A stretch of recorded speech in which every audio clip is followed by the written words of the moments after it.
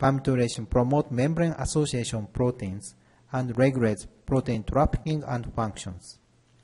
Palmitoylation is unique in that it is reversible and dynamically regulated by extracellular signals.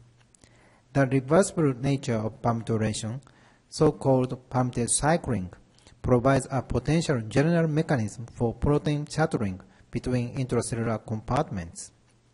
This palmitate cycling is mediated by DHHC palmitoylating enzyme and still controversial depalmitoylating enzyme.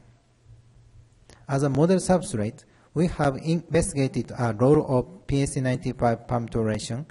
PSD95 is a representative postsynaptic scaffolding protein and anchors a lot of membrane proteins such as AMPA receptor as a postsynaptic membrane.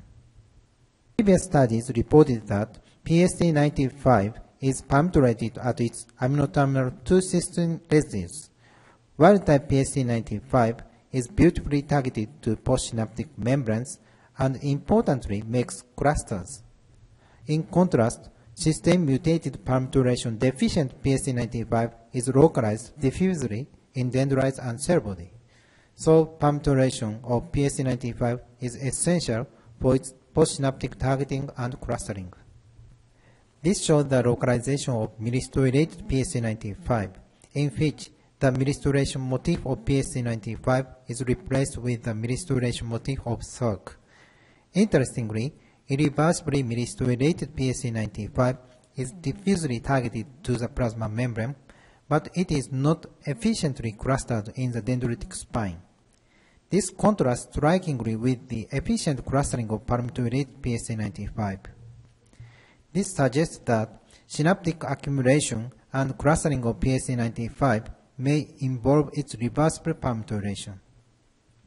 We recently combined a recombinant antibody against palmitoylated PSD95, named PF11, with live cell STED super resolution microscopy, and discovered novel subsynaptic nanodomains composed of palmitoylated PSD95.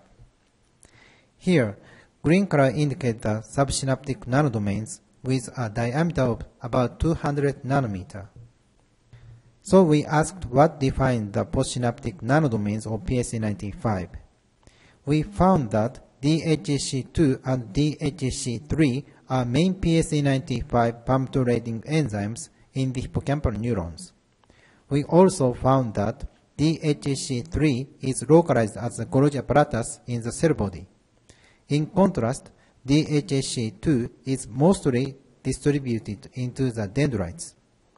Importantly, sample of DHHC2 is inserted into the spine membrane and the localization of DHHC2 is altered by neuronal activity.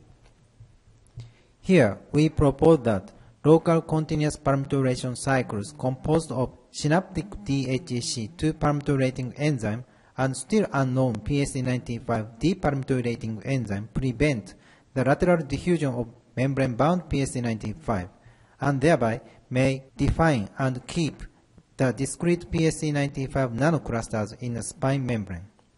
Then palmitoylated PSD95 serves as a platform for the postsynaptic proteins like AMPA receptors. To see the whole picture of palmitate cycling, the field is now trying to identify authentic depalmitoylating enzymes.